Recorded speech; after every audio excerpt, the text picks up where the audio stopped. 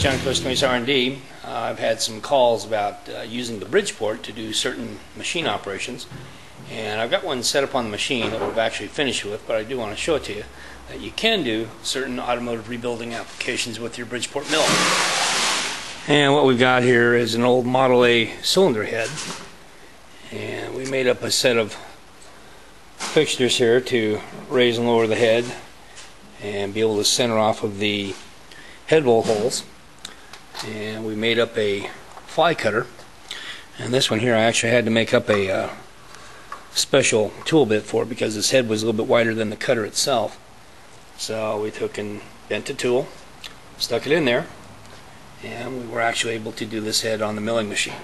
Wasn't able to do it on a regular Sunnen resurfacer because of the way the head is built. Uh, it tapers down here on the end, same thing on the other side.